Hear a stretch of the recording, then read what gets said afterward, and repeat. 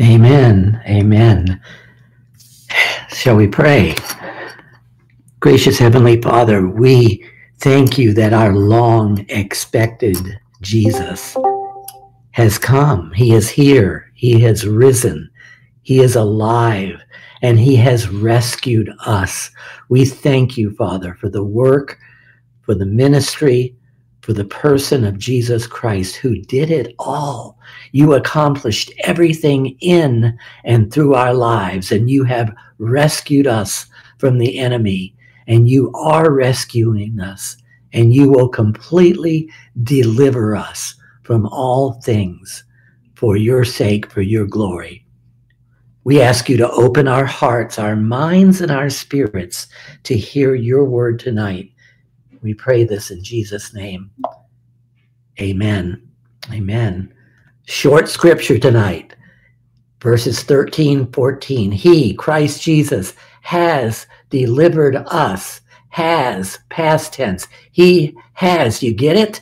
He has delivered us from the domain of darkness and transferred us to the kingdom of his beloved Son, in whom we have redemption, the forgiveness of sins.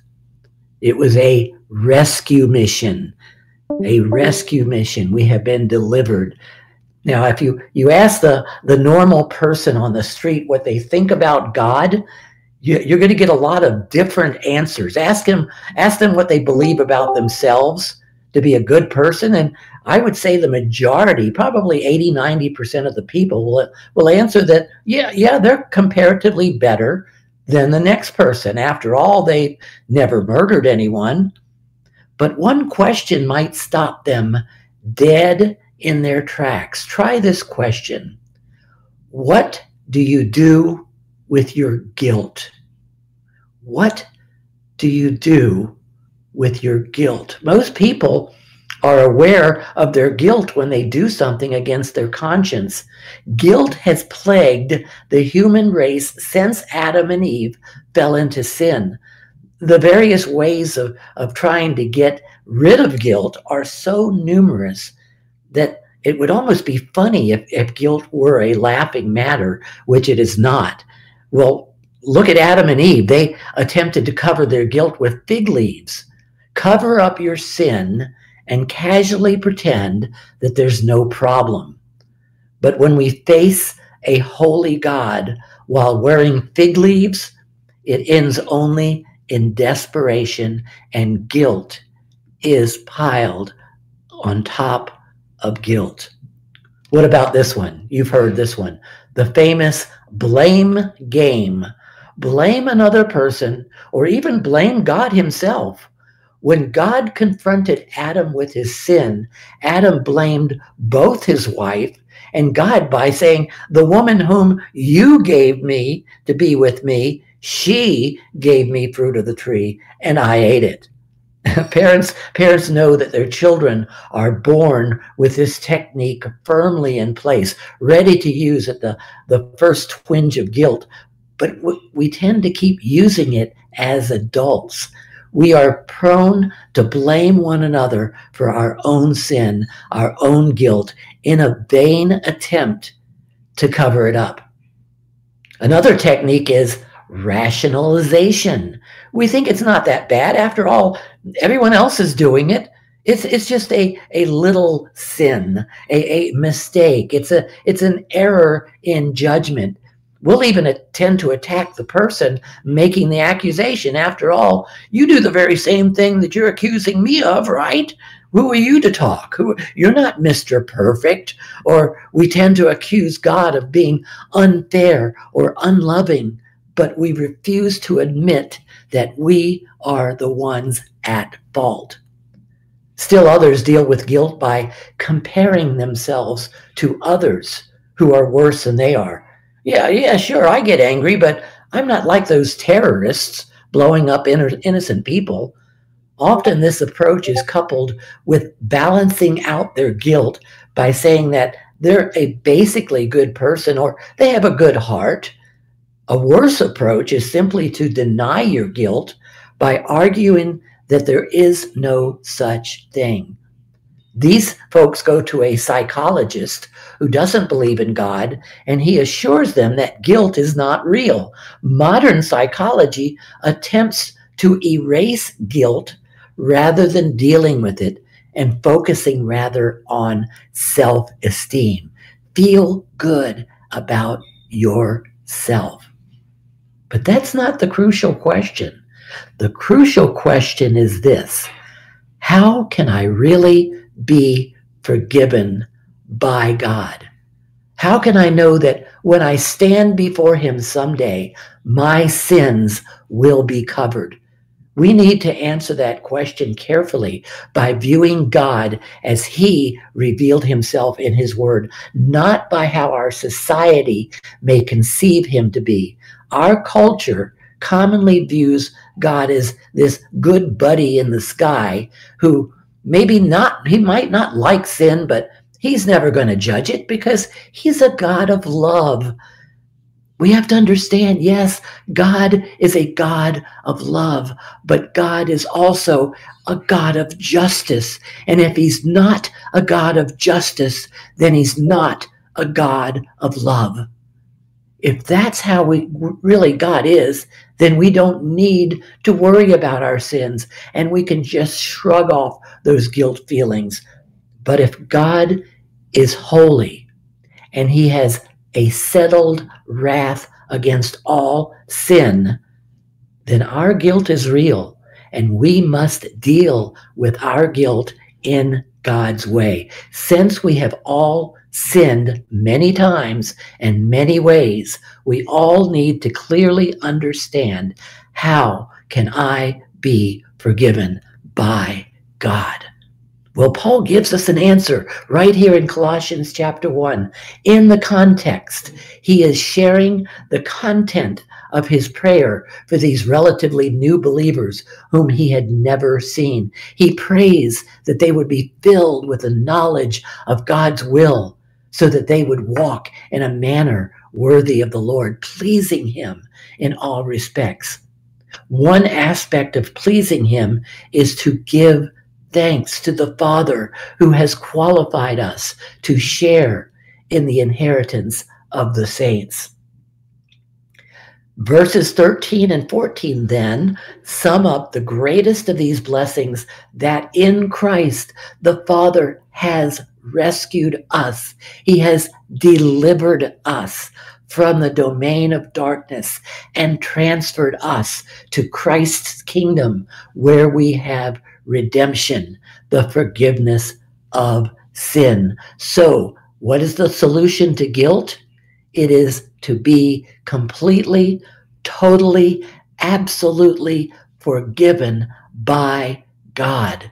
We're not talking about a feeling. We're not talking about subjectivism. We're talking about a redemptive historical fact, an objective fact that if you are in Christ, you are totally, absolutely forgiven. And in the words of our precious violinist, we are forgiven 959%. Amen. We are forgiven. No guilt, no shame. So, what is Paul's main point?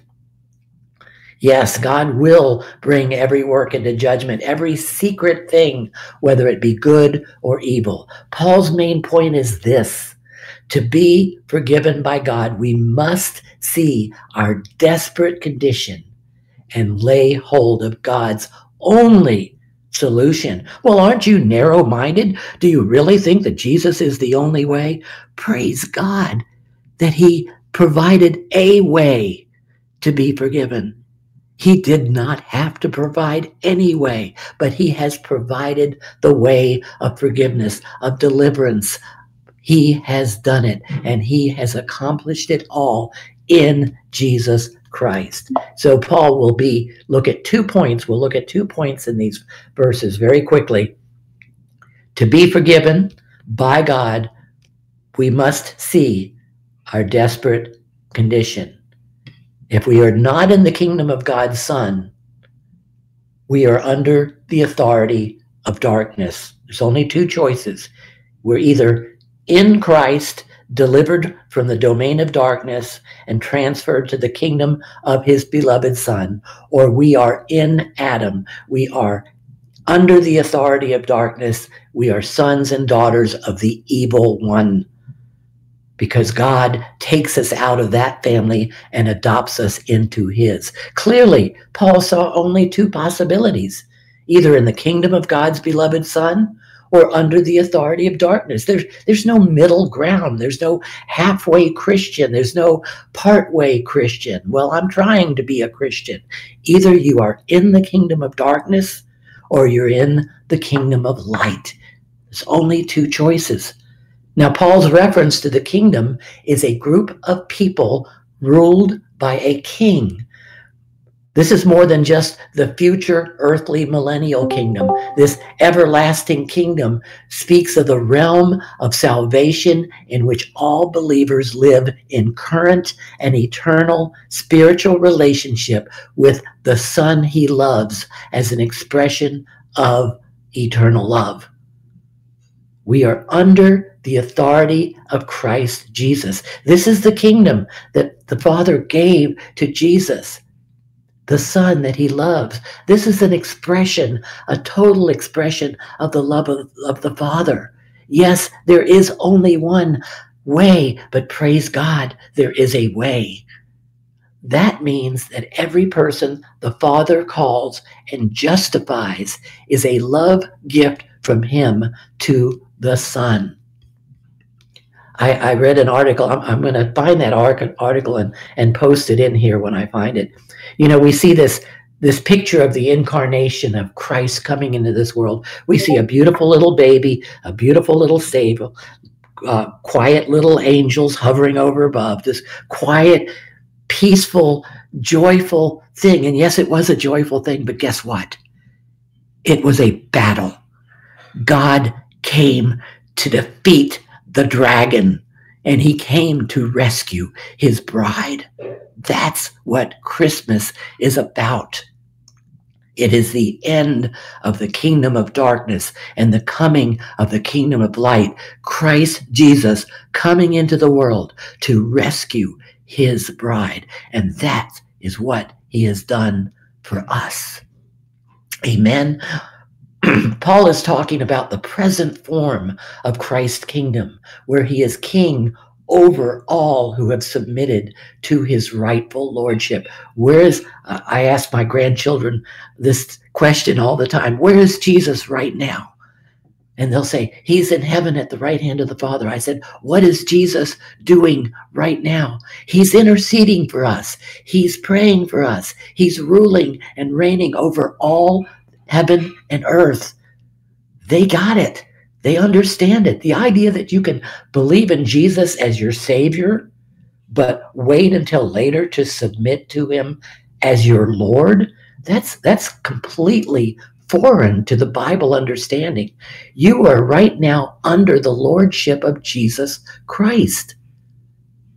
We are under His dominion in his kingdom. And these references point to the eternal relationship of love between the Father and the Son, and to the fact that Jesus is the only one whom God sent who could save us from our sins through his death on the cross. He is the perfect God man, perfectly human, perfectly divine.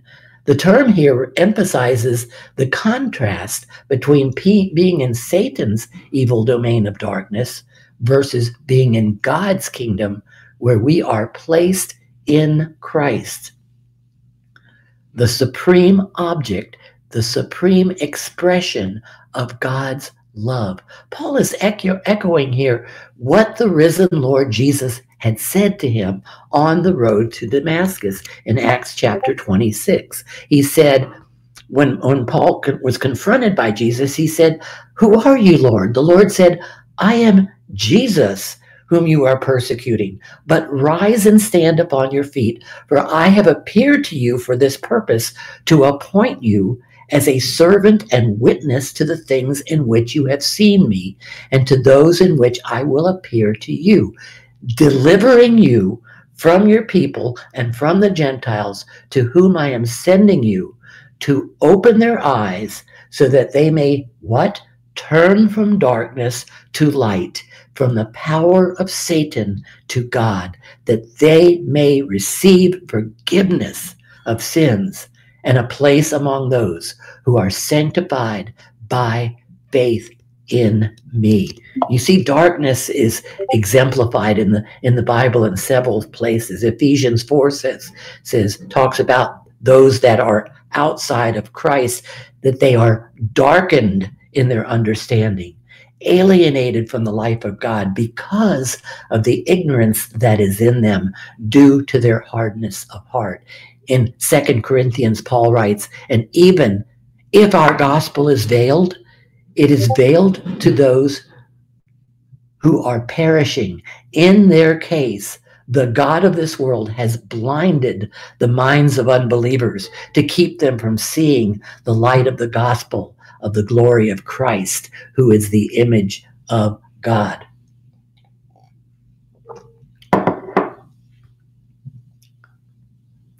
That's a good one, uh, Canadian Matthew. Yes, Paul Washer definitely teaches it's it's a package deal. Jesus is our King, He is our Savior, but He is also our Lord. There's no such thing as a separate lordship salvation. It's very, very sad. Totally agree with that. So, darkness in the Bible can represent a number of unfavorable conditions, and it can refer to spiritual ignorance. That ignorance being just not knowing, not realizing, just as blind people are total darkness and cannot do anything to see, so spiritually blind people are unable to see the light of the gospel. They are unwilling, they are unable to come to Christ unless God opens their blind eyes by his sovereign electing grace. But darkness also pictures sin. We see in John 3, I think I've got it here. There it is. And this is the judgment. The light has come into the world, and people loved the darkness rather than the light because their works were evil. For everyone who does wicked things hates the light and does not come to the light, lest his works should be exposed. That is what darkness does in our lives. Even worse, there is a malevolent evil being being behind the pervasive spiritual ignorance and sin. Thus, darkness is also representative of Satan's domain, as in our text. So, the picture of the world apart from Jesus Christ is desperate, it is hopeless, it is Unbelievers are spiritually ignorant. Ephesians says that they are dead. They are excluded from the life of God because of the hardness of their hearts. They love their sin and they do not want to come to the light where their evil deeds would be exposed. And they're under the domination of the world forces of this darkness headed by the evil one himself. And the startling thing is that there is no middle ground.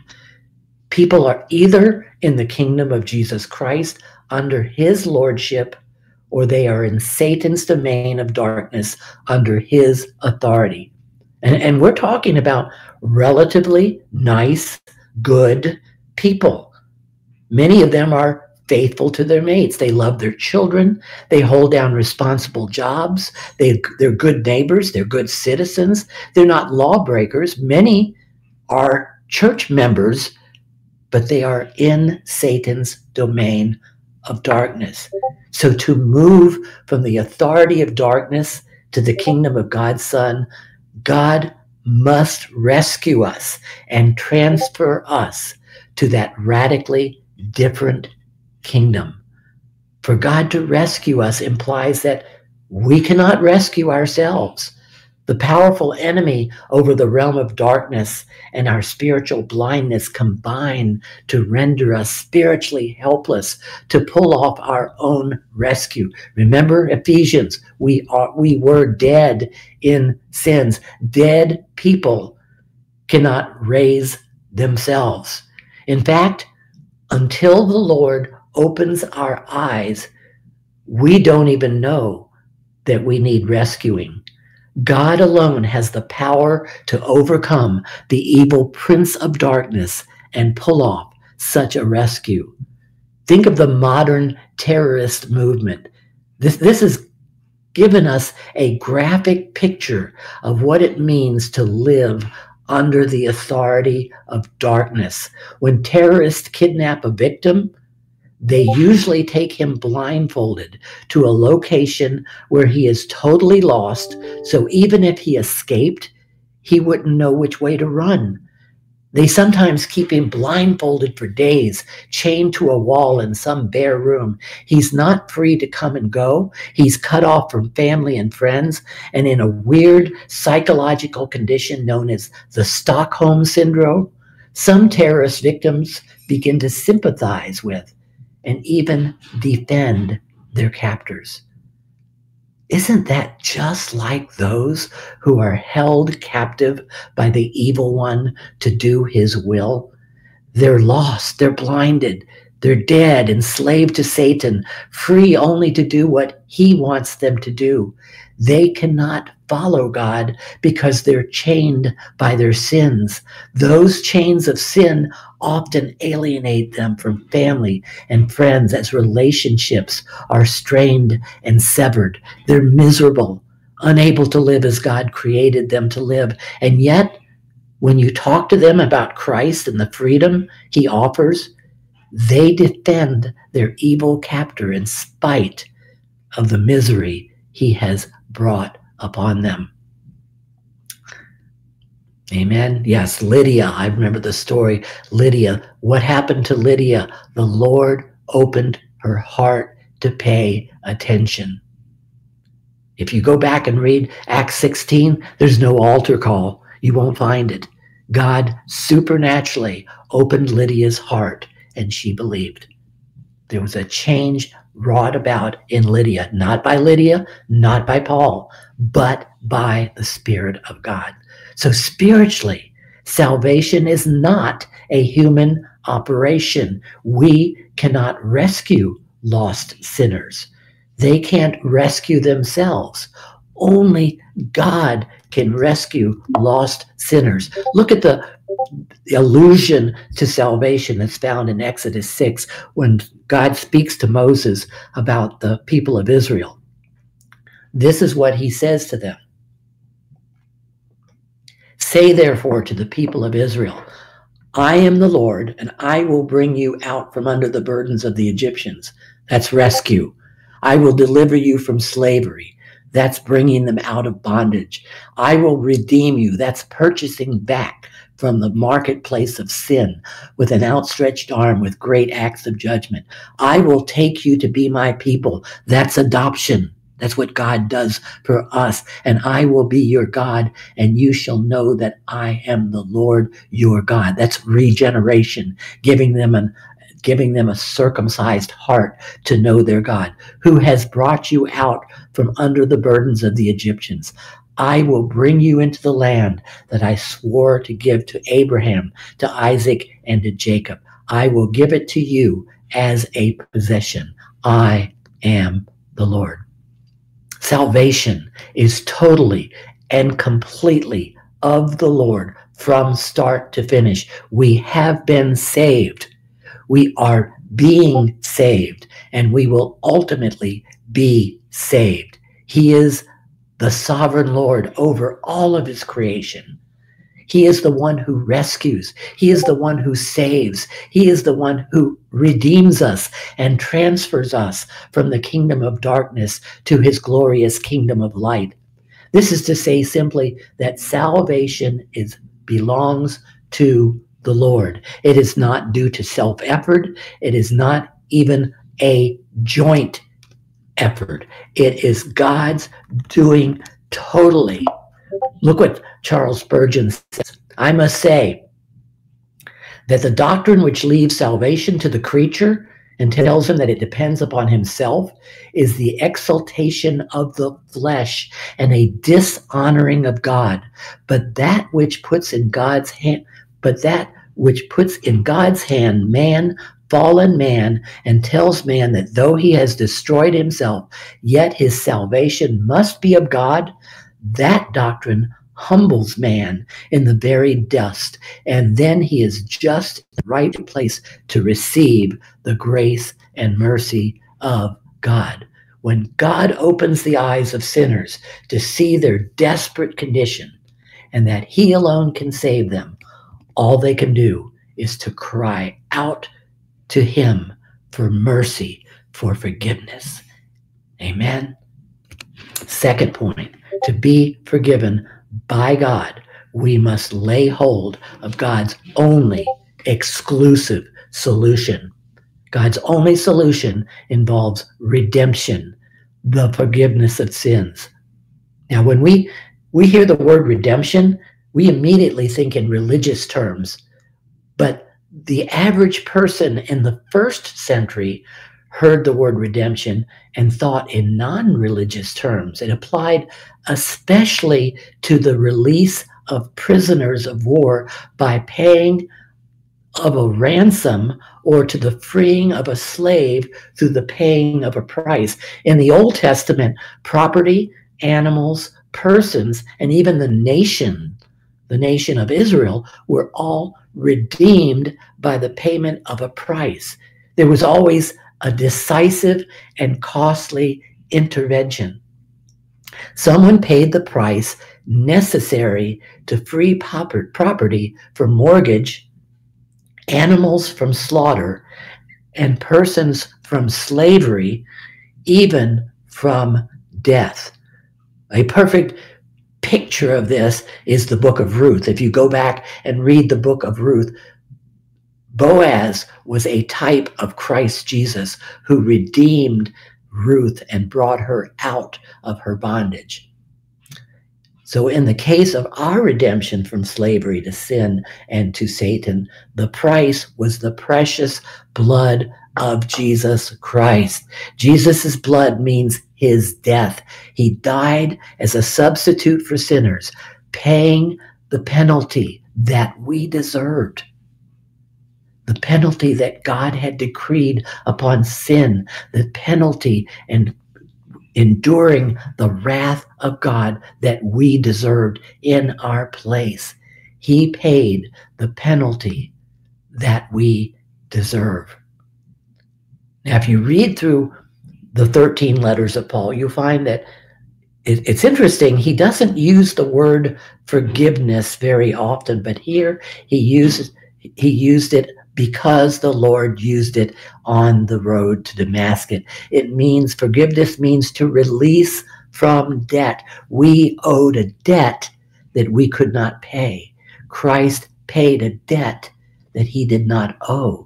So, in the case of our sins, God releases us because Christ paid the debt through his shed blood. Thus, God is free to be both just and justifier of the one who has faith in Jesus. I mentioned at the beginning, God is love. Yes, God is love, but God is also just. If he were not just, then he would not be loving. So he has offered perfect justice through Jesus Christ. Justice has been satisfied, and we are free in Christ. We lay hold of God's redemption and forgiveness by trusting in the Lord Jesus and his death for us. Amen. Just how we were born into this world without our works or effort or will, but through our parents' will. So it is our supernatural birth by God's will. Uh, another question I asked the grandchildren I said, uh, Did you choose where you were going to be born, to whom you were going to be born? When were you going to be born? they all had the right answers. It's such a pleasure to teach them. So as as as the Lord told Paul, and as he proclaimed the gospel to the Gentiles, that they may receive forgiveness of sins and a place among those who are sanctified by faith.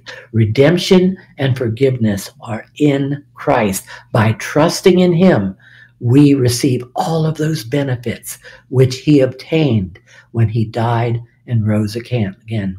We can't do anything to earn it.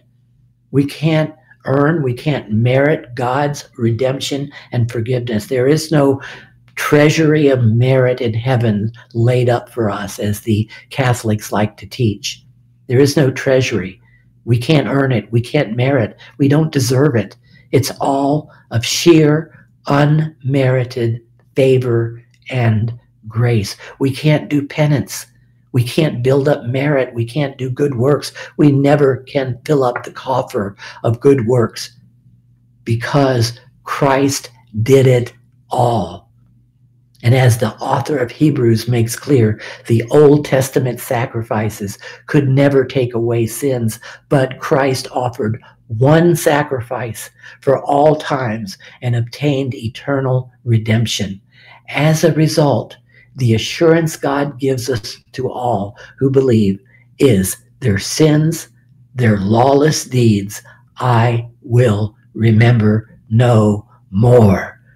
Praise be to his glorious name. We have been delivered. We have been rescued. Praise to our glorious God and Savior, Jesus Christ. So when we trust in Christ Jesus, when we trust in his sacrifice on the cross, it's the only way to know that God has forgiven our sins. Amen. Just a few conclusions, applications. The cross is the greatest emancipation proclamation ever declared. We, we, were held in captivity. We were blind. We were dead by the enemy power. In fact, you were born, you and I were born into slavery. But you, like every person we mentioned at the outset, we you have by grace through faith, you have been set free. How? Because a ransom was paid, a ransom that makes $60 billion look like a drop in the bucket. You were freed because another took your place, because Christ died as a payment for your freedom. So we look to Jesus, we look away from ourselves, and we see a ransom that both reminds us of the horrors of our bondage and the goodness of our freedom. And we learn to give thanks in all things. Psalm 107. Oh, give thanks to the Lord, for he is good, for his steadfast love endures forever. Let the redeemed of the Lord say so, whom he has redeemed. He has rescued us from trouble. Second conclusion since we have been redeemed, rescued, delivered, it will motivate us to live differently each day of our lives. You are no longer a slave to sin, to its dictates. Yes, we still sin, but we are no longer held in bondage to sin. You are no longer in bondage to the fear of death. You are no longer shackled by a guilty conscience. You are no longer bound to live for yourself. You have been set free. So let us learn to live in that freedom. Third conclusion consider the cost of that freedom and let it inspire humility, gratefulness, and worship in your heart. Good doctrine, good theology must lead to worship. We must bow before our Creator. We must bow our knees to our Savior with grateful hearts, with contrite hearts, thank you, thanking him for what he has done. Let God fill your heart with hope. Why? Because even though our redemption has been secured, it has not yet been fully realized. And he will complete what he has begun in you and in me. He is faithful to the end. Your salvation is guaranteed. freedom now from the power and penalty of sin. And one day, I can't wait for that day because I hate my sin so deeply. Freedom from the very presence of sin. We will see him face to face and we will be free from the very presence of sin.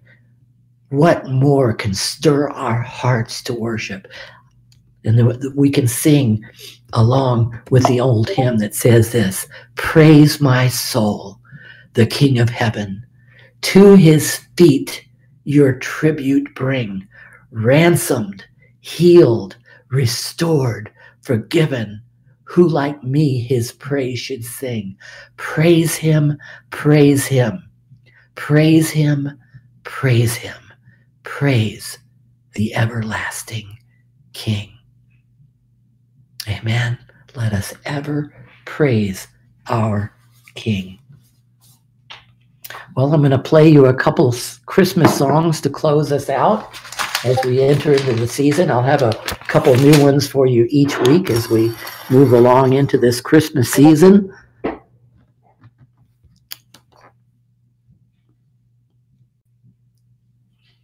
Uh, oh, yeah. Oh, yeah. Oh, yeah. Mario, you are so on the money.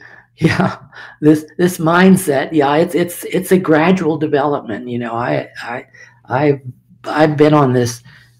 I won't say how many years.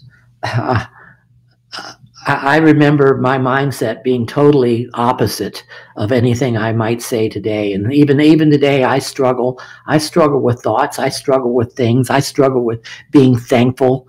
You know, there's things that we struggle with because we are in this flesh and we are still not under the power of sin, but we are still in our flesh and we are not freed from the presence of sin.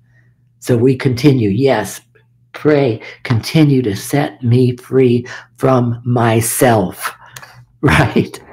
That is the greatest freedom that we need is to be set free. So I invite you to sing along with me as I play just a couple of songs for you.